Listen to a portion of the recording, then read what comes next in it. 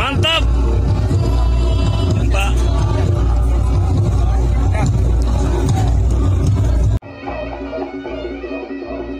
Terima kasih hadirnya yang terhormat Panglima TNI Bapak Jenderal Andika Perkasa.